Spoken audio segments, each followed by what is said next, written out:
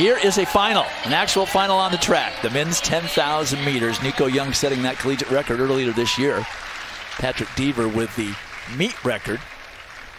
And Habtom Samuel, the freshman from Eritrea and New Mexico, he will start in the 19th position. This is a final 24 athletes qualified to get here. They're all on the track. Habtom Samuel, already a three time All American in his first two seasons between cross country and indoors, the NCAA cross country runner up, and then the second fastest collegian in history over 10,000 meters behind only Nico Young of Northern Arizona. There is Patrick Kiprop representing University of Arkansas. He is a big part of their team hopes, a big part of their success in cross country with a po podium finish. And then Texas Tech freshman Ernest Cheruiyot who has the fourth fastest time in the NCAA this season. He was the Big 12 indoor 5,000 meter champion. And they're away cleanly. You can see the two groups of athletes. They stay in those groups through the first turn, and then they will cut for the pole on the backstretch. 24 athletes, 25 laps. And since we set this up by mentioning, of course, the collegiate record, want to take care of a bit of business in terms of where everyone will be this weekend. So Nico Young opting to focus on the 5,000. So he will compete on Friday in that event only, opting not for the 10,000. He'll obviously have the Olympic trials here at Hayward Field coming up, so factoring in the number of different races that he will compete in. And then Graham Blanks from Harvard, the cross country NCAA champion, to which Habtom Samuel was second. He's also doing only the 5,000 meters. And then the top three from last year's NCAA championship, it was won by Ky Robinson. The defending champ not going to defend it. He's the 10,000 at least. He's aiming only for the 5,000 and a title over on that side. So just kind of figuring out some personnel because a lot of people are probably expecting to see a rematch between Samuel and Nico Young because those guys threw down that incredible 10K at the 10 meet earlier this season to which they went below the Olympic qualifying standard of 27 minutes, and Habtom Samuel, the only athlete in this particular field of 24 that we have right here that is below that 27 minute standard.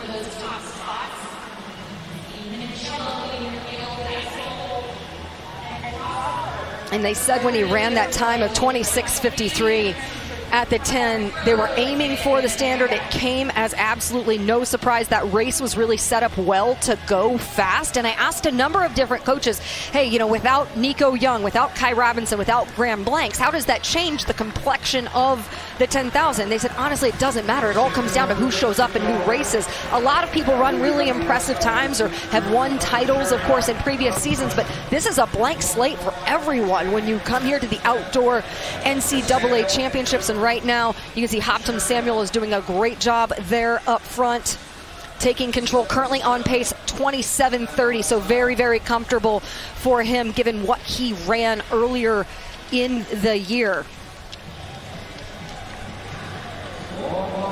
It's one thing to kind of be on alert for too is you know could that meet record fall? That 27.41 you know you have athletes who are well capable of taking that time down, taking down that mark and setting NCAA history. Pretty good conditions for the 10,000 that we have tonight as well.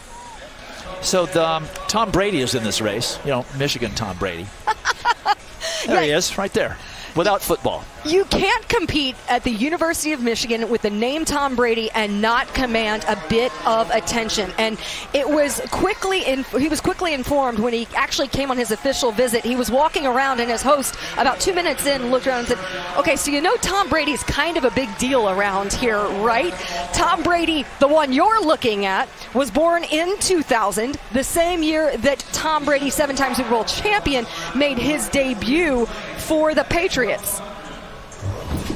And here is something, a little tale of the tape that the Wolverines program put together just a few years ago, kind of measuring these guys up. Pretty funny to see here the, the comparables between the two, but uh, he is not named after that Tom Brady. This 10K Tom Brady is not named after him. It's actually a family name going back to his late great grandfather. And he said, you know, that Tom Brady has such great work ethic. I don't really mind the comparisons. Make no mistake, guys, he's from the suburbs of Chicago. He is a die-hard Bears fan. So he's a fan of Tom Brady, but not necessarily the Patriots or the Buccaneers. That is a proud Chicago Bears guy. Well, I'm sure he's a good sport about it, and here he is in the uh, national championship 10,000 If only he'd final. gotten hit 12. That's the one thing I wish that had worked that out. would have been great. Yeah. Any team title hopes they might have, and we're back to the 10,000 meters. With Habtom Samuel still leading, setting the pace. No one wants to head him at this point. So, but seven minutes in, we're going to step aside. And when we return, more of our coverage of this men's 10,000 meter final. Just over 16 laps remaining. And Habtom Samuel, just a few minutes ago, stepped aside and was encouraging somebody else to take the lead. And he has taken up a spot about 10th place now in the pack. Kirami Yego of Arkansas there up front. Pace has slowed pretty significantly. They were right around 66 seconds and a couple of 67 fives and now 68 fives. So we've slowed down to a 27.55 pace. They were previously closer to about 27.40, 8.56 through the 3,200 meter mark. Kirami Yego, the signature sunglasses, and that's normally a bit of a cue. If he has them down, it's a certain mode. He flips them up. At other times, he has his teammate Patrick Kiprop there as well to help with those lead duties, as well as Kansas's Chandler Gibbons, who was positioned well behind Habtom Samuel before we had a bit of transition. They're at the lead of the pack important team implications for the Razorbacks with two of their runners in this 10,000 meters. Yego currently leading and Kiprop currently in third position. And when you get to this point of the season, a lot of guys like a Patrick Kiprop and those who are in the 10,000, they've just gone to the well so many times going back to the cross country season. Of course, he was Kiprop, an All American in cross country, as was Kirami Yego, part of the podium finish for Arkansas. And in talking to head coach Chris Bucknam, he said the final event of the day, this is going to set the tone for our team and how we finish up on Friday. Looking to bookend what we've done from cross country. We ran a phenomenal race there. We've talked about the fact Arkansas has it on their minds. They fell just short of a couple of team titles in the last year. So this can be significant in terms of setting them up for success come Friday. Play, pace now above 28 minutes at 28.10. That's leaving a lot of athletes in this field. Habtom Samuel has great closing speed, great mile speed, so he can certainly afford to hang out just a little bit. But some of those others who would like to keep this pace honest, someone like a Patrick Kiprop would like to push things a bit more. Cheruiyot from Texas Tech has been very comfortable too throughout the first portion of the race. More than four. And here comes Habtom Samuel back as we see the lap counter click down to 13 laps remaining. And as they are so tightly packed there up front, one to watch North Carolina's Alex Phillip, third fastest in the NCAA this year, and one of just the great stories of this outdoor season. A graduate transfer from John Carroll University, where he held numerous Division three records and was a seven-time national champion at John Carroll, and when he ran 27.51, third fastest this season at this distance, it shattered the Tar Heel school record by nearly a minute. And coming out of high school, Alex Phillip, who grew up uh, in the Akron area, actually graduated from the same high school as LeBron James, St. Vincent St. Mary. He reached out to every college coach in Ohio, just asking for the opportunity to run for their program. Most turned him down, but got the opportunity at John Carroll, which was such a great fit in terms of developing him and then giving him an opportunity to get to North Carolina. And director of track and field Chris Miltenberg said he really brings a blue collar mindset and just a want to be part of the program. That is something that has impacted the entire team. Doing a great job right now of positioning himself right near Patrick and Victor Kiprop.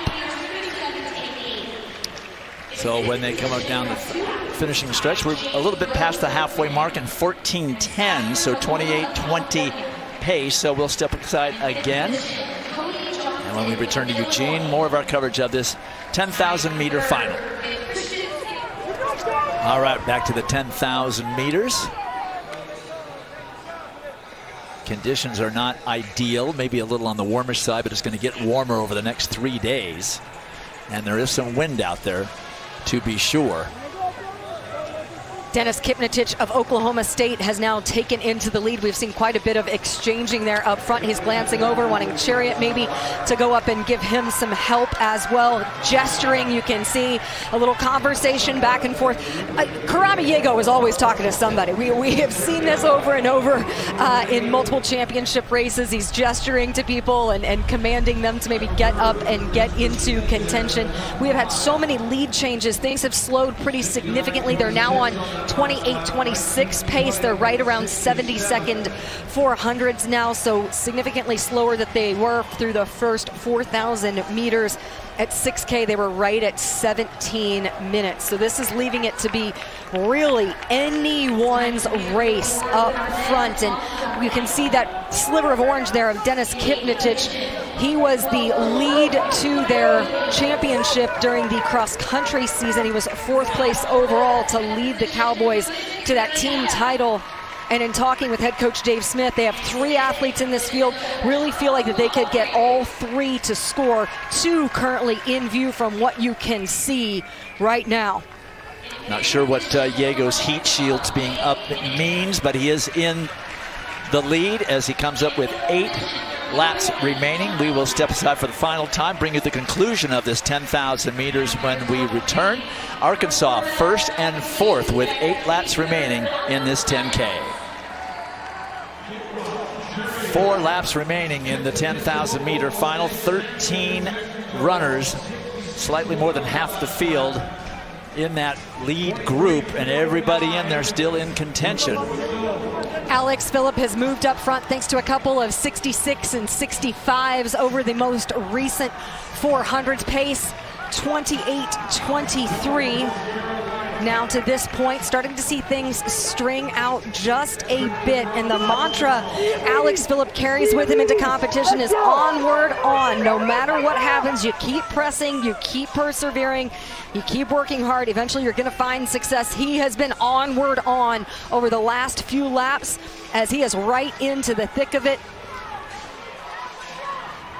Coming up on three laps to go. 68 degrees now here at Hayward Field, so a little bit more pleasant conditions for these distance runners. Arkansas still in a great position to score a lot of points with Patrick Kiprop there in the lead. And then Kirami Yego now uh, back about eighth or ninth, but you never know. He can surge up to the front and take the lead again. You never know what you're going to get from him. And this is where you're going to see people start to make moves, and you're going to have to cover the moves that are made. Not necessarily have to do it in an aggressive fashion, but certainly just be aware, be on your toes, as this will start to shake up because everyone here is going to rely on some bit of a kick. And in talking with Coach Gauson from New Mexico, one thing to be aware of is that Habtom Samuel competed here at the World Championships for Eritrea when he was just 18 years old. Has great familiarity in this venue. Has, oh! Wow, it's a major crash with just a little over two laps remaining. That shakes things up a great deal. Patrick Kiprop is a part of that crash. That's devastating. There's still time. There's still plenty of time. If you maintain composure, you can get right back in it. Let's see if we can tell what happens. Ernest Cheruiyot is up front, and Patrick Kiprop just gets caught on that back step and then tangles up. Alex Phillip tangles up. Samuel, Samuel also goes down, but bounces back up and is in fifth place. But you just don't know what kind of a toll that takes. There's a rush of adrenaline to get back up and in the race, especially with just over two laps remaining. And look at Chandler Gibbons trying to stay inside the rail to just remain up up up top or on, remain on his feet. So everyone behind them too having to hurdle them around. So Samuel rebound, rebounds very well, very quickly. It's Kipngetich of Oklahoma State, Cheruiyot of Texas Tech, Gibbons, or excuse me, um, Samuel of New Mexico, and then Kiprop of Alabama right there. And now Patrick Kiprop has fought his way back up. But how much energy has it taken from him to do so? One lap remaining. Ernest Cheruiyot on the inside. He was the one that didn't cause the accident, but that's whose feet Patrick Kiprop tripped over. Habtom Samuel up there in third place. He was part of that carnage with about 100 meters more than two laps remaining. 65 seconds on that last 400 meters. Now it is going to be a throwdown to the finish as they make their way toward the Bowerman Tower. Cheruiyot not giving up the lead to Kipngetich, and Samuel is also right there. Looked like Victor Kiprop may have gotten tripped up a little bit there with under 200 meters to go. There's Samuel into the lead. Remember, he was part of that crash. He bounced back up off the track. Habtom Samuel, the second fastest at this distance. Just a freshman at the University of New Mexico will take the 10K title.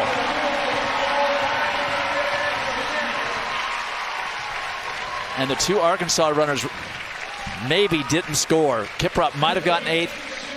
Yego out of the scoring position. 58.2 seconds for the final 400 meters. He is New Mexico's first outdoor national champion since Weini Kelati won the 10K back in 2019. First for the men's program since Josh Kerr back in 2017 and put on a phenomenal display in the final 400 meters. What a closing kick. What a way to respond after he took a tumble. The carnage there among your lead pack. You can see he gets caught over Alex Phillip. Diving there next to Patrick Kiprop, swings out, has to run a lot of extra real estate. And then you can see fends off a finishing charge over the last 200 meters. After he ran that incredible 10,000 meter earlier this season, worked extensively on his race tactics, and that was put on display, embracing that finish line in celebration as he is the 10K champion for the University of New Mexico in his first NCAA season. Just a 20 year old freshman winning the title here and, and recovering from what could have been a devastating fall. There it is. Habtom Samuel wins the race over Victor Kiprop. Denis Kipngetich, who was part of that whole sprint over the last 200 meters, ends up third. Ernest Cheruiyot, whose feet Patrick Kiprop tripped over and took two other athletes out with him. And Kiprop for Arkansas only able to score one point for the Razorbacks. That's a major hit to their team title hopes. Habtom Samuel, I want to know just in the instant that you're falling to the ground, what is going through your mind? Oh, that's I'm um, really, really but I'm a little bit scared because like two laps to go, that is not easy to recover. So, but uh, yeah, I'm so lucky today. Mm-hmm. If I'm falling down and hurt me my hurt me my leg, that I can't do. But I'm happy. But I'm really, really that's. I'm so sad when I'm I'm falling down like I think like many like many things in my mind. Mm-hmm. Uh, can I close the gap right now? Like two laps to go. So, but yeah, God, God saved me today. Yeah. So when you get up, is there time for a plan? I mean, now that you're up and running, how do how do you what what's, what are you thinking to try and chase that guy down? Uh, that's for chasing them. That's not easy because when I wake up, like almost a little big gap mm-hmm. for me. So that's but I'm, I'm really in a good position and I'm, I'm really fit for this race today. So I'm a bit scared, but finally I made it and I'm so happy. Well, you told me the first 3,000 you were thinking there was going to be maybe you could get the championship record. Yeah. Um, when you got up, I realized you just wanted to finish. That's quite a difference between the two. Congratulations on being a national champ. Yeah, thank you so much. Yeah. Uh, one my plan for this race today is like I want. I know this track is. I've been before two years ago. I'm here, right. like for the World Athletics World Championship yes. Oregon. So I know the track, the altitude, everything. So today I'm really planning to run like the championship record by uh, 27.41. So that's my plan to break the uh, championship record. That's why I'm starting the first like from start 66, 67 until 3K. But the guys they can't help me. I said, oh, let me stop and just go for a win. And I'm back and join the group. Just I follow the guys and sometimes also I help them. So that's really really good race. But yeah, still I'm Listen, championship record's one thing. Just take the championship after the fall and call it good. Congratulations. Yeah, thank you so much. I appreciate it. Thank you for all the fans being here today. That's a nice altitude, good track. I'm so happy. Uh, thank you so much. Appreciate you.